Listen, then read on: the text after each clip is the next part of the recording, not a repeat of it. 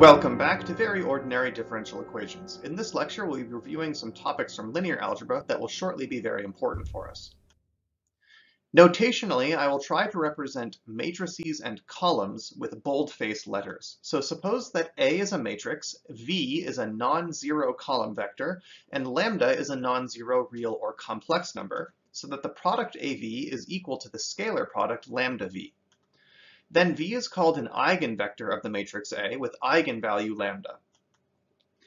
Let's examine restrictions placed on the dimensions of these objects. So let's suppose A is n by m. In order for the product AV to be defined, since V is a column, it only has one, one column, but the number of rows must equal m. So V is m by 1. In this case, AV would be n by 1. But since lambda is just a scalar, lambda v has the same dimensions as v. It must be m by 1. Therefore, m must equal n, and therefore A must be a square matrix. So we're only talking about eigenvectors and eigenvalues when A is a square matrix. It's the only situation where it will make sense for us. Now, eigenvectors, with their corresponding eigenvalues, Sometimes in an introductory linear algebra course, they're not highly stressed or people forget about them very shortly after the course concludes, but they're going to be very important for us. So let's suppose v1 through vk are eigenvectors and they have corresponding eigenvalues lambda 1 through lambda k. Then for any scalars c1 through ck, if you were to take the matrix A and have it act on the linear combination C1V1 plus C2V2 all the way up to CKVK, well, matrix multiplication is linear, so I can distribute this as A C1V1 plus A C2V2 and so forth. The scalars factor out, so this would be C1 AV1, C2 AV2, but because they are eigenvectors, VI, with eigenvalues lambda i, AV1 is equal to lambda 1 V1, and so forth. So for eigenvectors v1 through vk, corresponding eigenvalues lambda 1 through lambda k, if the matrix A acts on any linear combination of v1 through vk, the product can be expressed very nicely like this. Now, since the lambda i's are also non-zero, we can use reciprocals, 1 over lambda 1, 1 over lambda 2, in order to preemptively cancel them out. So notice what we have here. We have A of a linear combination of the V's equals a linear combination of the V's. Similarly, any linear combination you want to get out, A of this linear combination would produce the one that you wanted. In other words, the span of the vectors v1 through vk is the same as the span of the vectors AV1 through AVK, or lambda 1 V1 through lambda K VK. So this subspace is called invariant under multiplication by A. The subspace being the span of your eigenvectors. When you take vectors in that subspace and multiply by A, you are guaranteed to remain in that subspace. It is invariant. So when A represents some sort of linear transformation, subspaces spanned by eigenvectors are invariant subspaces. When this subspace is explicitly presented as having a basis, v1 through vk, a basis of eigenvectors, we have a very easy way of computing how the transformation acts. As we already wrote, A of any linear combination of the vi can just be written as a very related linear combination of the vi. So let's suppose that A is a square matrix with eigenvector v and lambda is the corresponding eigenvalue. So AV is equal to lambda v. Therefore, AV minus lambda v is 0. Now, lambda v is a column vector. AV is a column vector. In order to do this um, factoring, I need this to be a square matrix so that I can do the difference A minus something. And the correct thing to put here is lambda times the n by n identity matrix. So if V is an eigenvector of A, then V is in the null space of the linear transformation A minus lambda I. The null space of a transformation is just everything that is sent to zero. So if V is an eigenvector of A, then A minus lambda I of V must be zero. So let's suppose lambda is non-zero and v is in the null space of a minus lambda i. In other words, v is an eigenvector of a. Since we assumed that v is not zero, it follows that the columns of a minus lambda i are not linearly independent because we have a matrix times a non-zero vector is the zero column. Therefore, this matrix cannot be formed of linearly independent columns. Therefore, it must have zero determinant. Because the columns are not linearly independent, the determinant of this matrix must be zero. So if V is an eigenvector with eigenvalue lambda, then the determinant of A minus lambda i must be zero. So suppose we consider lambda to be a variable, compute the determinant of A minus lambda i, which is called the characteristic polynomial of A, and find its roots. Well, any eigenvalue must be a root of this polynomial. Therefore, finding roots of this polynomial is a way to find possible eigenvalues. Now, once we have candidates for eigenvalues by finding roots of the characteristic polynomial, we can solve AV equals lambda v to try to determine the eigenvector v that we can associate to the eigenvalue lambda. There may be multiple and even multiple linearly independent column vectors v with the same eigenvalue. The multiplicity of lambda as a root in the characteristic polynomial is called the algebraic multiplicity of lambda. It's the number of times that lambda can be factored out as a root of the characteristic polynomial. However, the maximal number of linearly independent eigenvectors with eigenvalue lambda is called the geometric multiplicity of lambda. Now, the geometric multiplicity is always less than or equal to the algebraic multiplicity.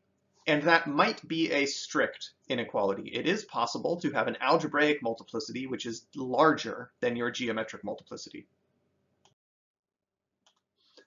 Now let's let A be an n by n matrix and assume that we have found n linearly independent eigenvectors, v1 through vn. They have corresponding eigenvalues, lambda 1 through lambda n. Now the eigenvectors are assumed to be linearly independent.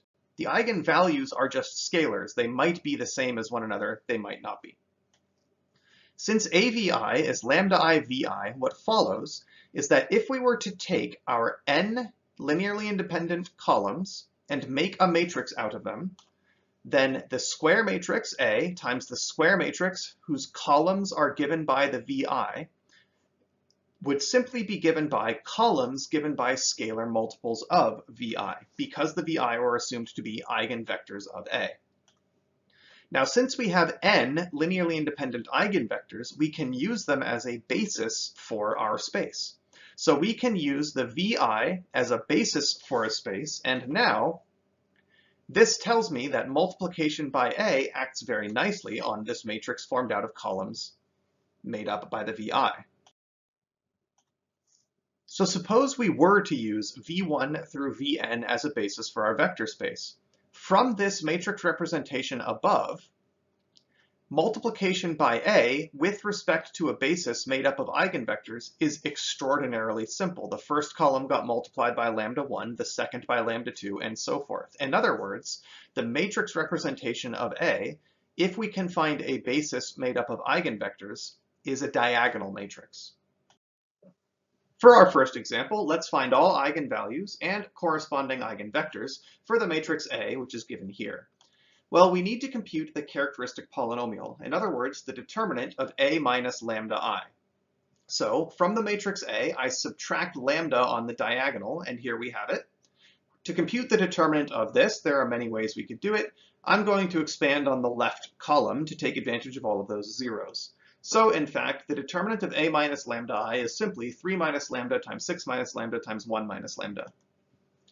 In order to solve for roots of the characteristic polynomial, well, in this example, it's really quite easy. Lambda can be 1 or 3 or 6. So there are three possible eigenvalues, 1, 3, and 6.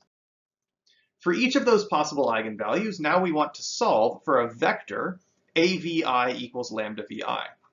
Well, for lambda 1, we're going to set that equal to 1. So therefore, we're trying to find a vector v sub 1 so that av1 is equal to v1. We're going to just let abc as a column be our unknown vector v1. Well, if I just took the vector abc, stuck it here, and computed that product, we would get 3a plus 2b minus c. In the second entry, we'd get 6b plus 2c, and in the last entry, we'd get c. So here is AV1, but this is supposed to be equal to V1. Therefore, 3a plus 2b minus c is equal to a, 6b plus 2c is equal to b, and c is equal to c. So we have three equations in three variables that we now attempt to solve for a, b, and c.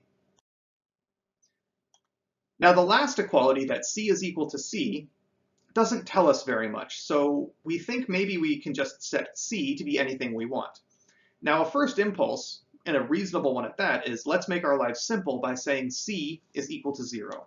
But if c is equal to 0, then in this equation we would get b is equal to 6b, which would force b equal to 0. And if b and c are both equal to 0, this first one would force a is equal to 0. So if c is equal to 0, a, b, and c are all equal to 0. But an eigenvector can't be the 0 vector. So that's not going to be a legitimate solution for us. So let's take c to be something else that's pretty straightforward to work with, like 1, and keep working. So we've assumed that c is equal to 1. Now the second equality, b is equal to 6b plus 2c, allows us to solve for b is negative 2 fifths, and now that we know the values of b and c, we can find that a must be 9 tenths. So for the eigenvalue of 1, we have in fact found a corresponding eigenvector. 9 tenths for a, negative 2 fifths for b, and 1 for c. So here is an eigenvector that we found for lambda 1 is equal to 1.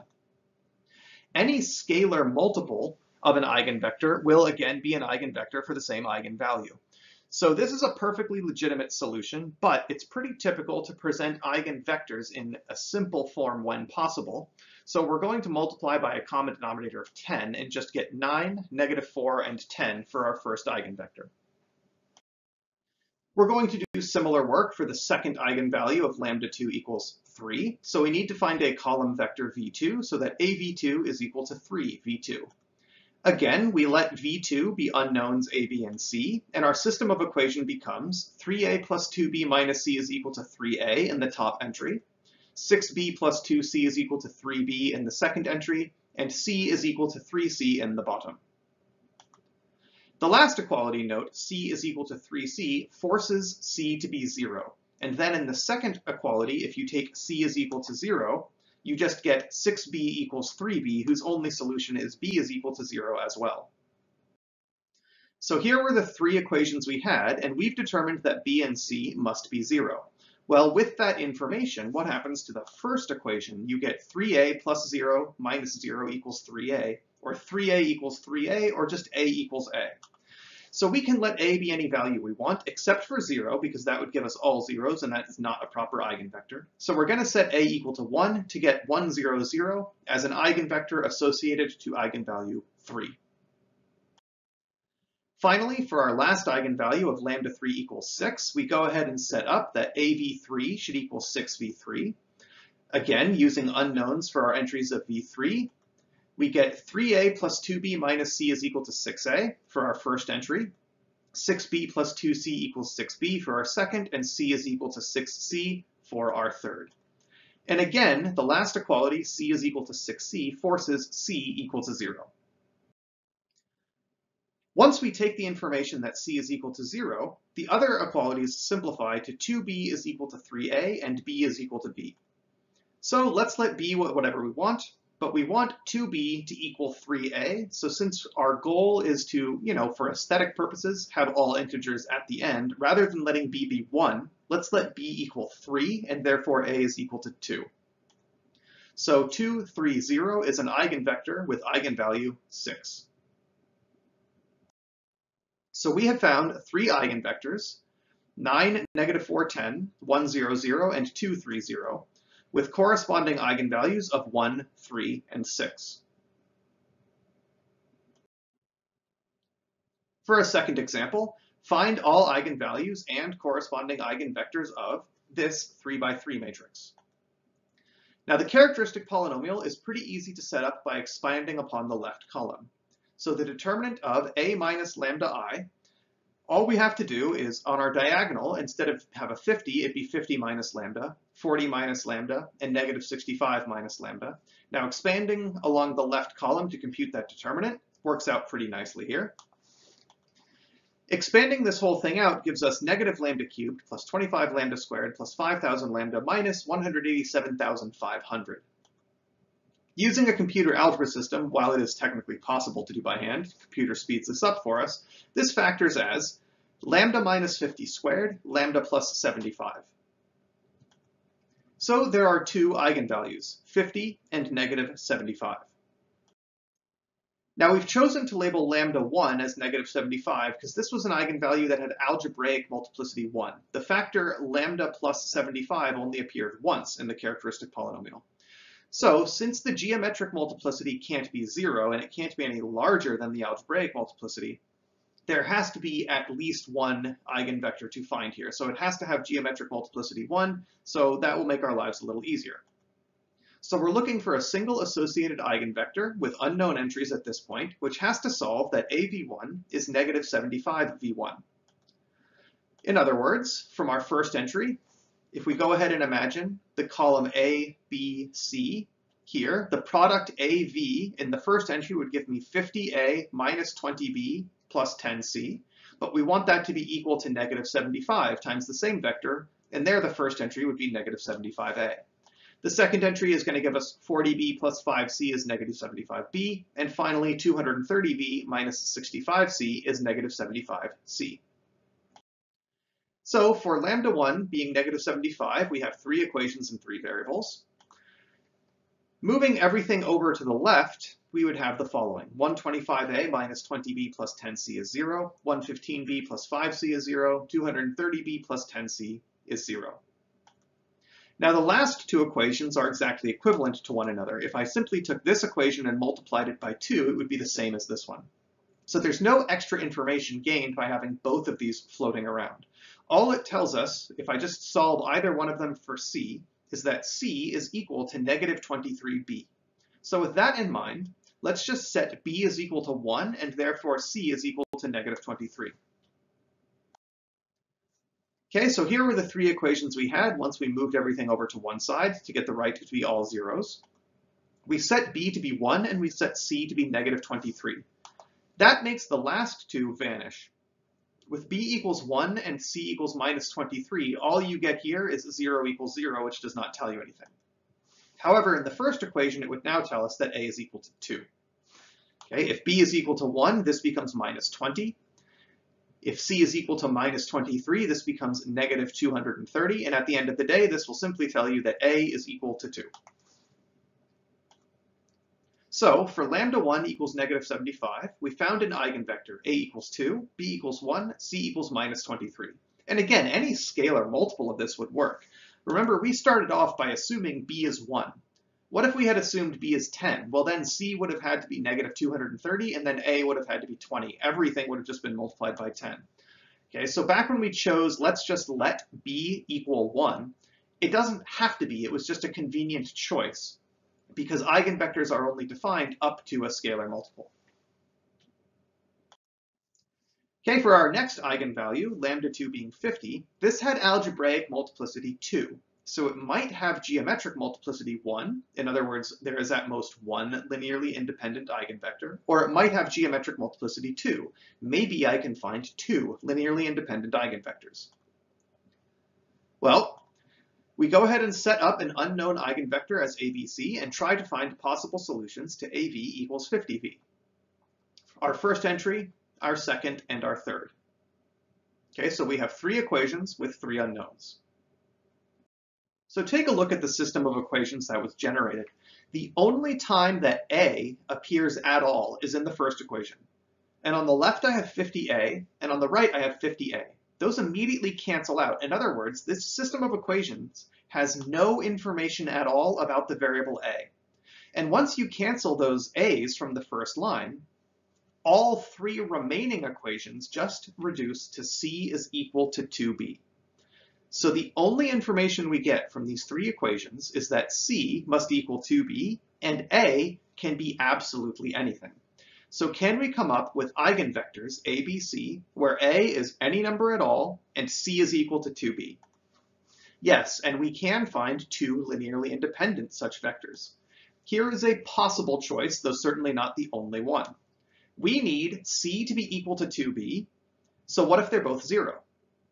Well, then a can be any number, but it can't be 0 because an eigenvector cannot be the 0 vector. So if c and b are both 0, then a can be anything and 1 is a reasonable choice, although anything other than 0 would be fine. What if c equals 2b is not satisfied with zeros? For example, maybe b is 1, and then C must be 2. Well, then A can be absolutely any number at all, and then 0 is a convenient pick, but absolutely anything at all would have been legitimate to put up here. So this is a particularly simple choice of two linearly independent eigenvectors for eigenvalue 50, but of course there are many others we could have come up with. For our third example, find all eigenvalues and corresponding eigenvectors for this 3 by 3 matrix. Well, the characteristic polynomial is again easy enough to set up. Expanding on the left, we're taking advantage of those zeros. So the determinant of a minus lambda i is 2 minus lambda times the quantity, 11 minus lambda times negative 7 minus lambda, minus negative 9 times 9, so plus 81. Expand all that out to get the following cubic. Then you need to find roots of this cubic. Well, it actually factors quite nicely as simply lambda minus 2 cubed with a minus sign out in front. So there's only one eigenvalue, 2. But it has algebraic multiplicity 3. Therefore, its geometric multiplicity can be 1, 2, or 3. In other words, I might only be able to find one linearly independent eigenvector. Or maybe two of them, but not three of them, or maybe three of them. So now let's go and find all possible eigenvectors with eigenvalue 2. So the only eigenvalue is 2, so we go ahead and set up v as our unknown column ABC and try to solve AV is equal to 2v. In the first line, we would get 2a plus 4b minus 2c. That's just from taking the matrix A and multiplying by the column ABC, 2a plus 4b minus 4c. On the right, we have 2v, and its top entry would be 2a. In the second row, 11b minus 9c is equal to 2b, and in the third, 9b minus 7c is equal to 2c. All of these simplify to just b is equal to c. Notice that the only appearance of a's cancels in the top row, then all of them reduce to b equals c. So the only restriction on an eigenvector v is that b and c must be equal. So there are two possibilities. Maybe they're both 0, or maybe they're both not 0. If both b and c are 0, remember that the 0 vector is not a valid eigenvector, in which case a can't be 0. If a can't be 0, 1 is a pretty simple choice. If b and c are equal but are not equal to 0, maybe they're both equal to 1, in which case a can be anything at all and then 0 is a very reasonable pick. So at most, there are two linearly independent eigenvectors. Maybe b and c are both 0, or maybe they aren't, in which case those two cases are spanned respectively by 1, 0, 0 and 0, 1, 1. So this is a maximal linearly independent collection of eigenvectors with eigenvalue 2. So we only were able to find two linearly independent eigenvectors. Therefore, the geometric multiplicity of the only eigenvalue, 2, was smaller than the algebraic multiplicity, it appeared as a factor lambda minus 2 cubed in the characteristic polynomial. Its algebraic multiplicity was 3, but we were only able to find two linearly independent eigenvectors. Its geometric multiplicity is smaller. This means the matrix A is not diagonalizable. It is not possible to find a basis of eigenvectors. We could only find at most two linearly independent eigenvectors so we cannot diagonalize this matrix. Altogether, what did we discuss in this little review? Finding eigenvalues and eigenvectors of matrices, it's a very important topic in linear algebra, and it's going to be important for us shortly. We haven't really gone into any of the detailed algorithms for finding eigenvectors and eigenvalues, sticking instead to just straightforward computation based off the basic definition, which works perfectly fine for 2 by 2 and 3 by 3 matrices, even sometimes 4 by 4 We also didn't discuss how to diagonalize a matrix when it is diagonalizable, in other words, when there is a basis of eigenvectors. This is a useful skill and very relevant to some later material, but we're always going to phrase our later material in terms that avoids explicit discussion of diagonalization. So it's a useful linear algebra thing to know, but we're not going to be using it. In most circumstances, a problem is either easy enough to work out by hand, in which case everything we did is really all you need to be able to do, or you may be allowed to use a computer algebra system, in which case finding eigenvalues and eigenvectors is really just a matter of knowing how to use that computer algebra system, and it will quickly give you the results you need. So if it's a problem you're being expected to do by hand, this is generally all you need to do. If it's a problem on which you're allowed to use a computer algebra system, well then you can do pretty much anything you want.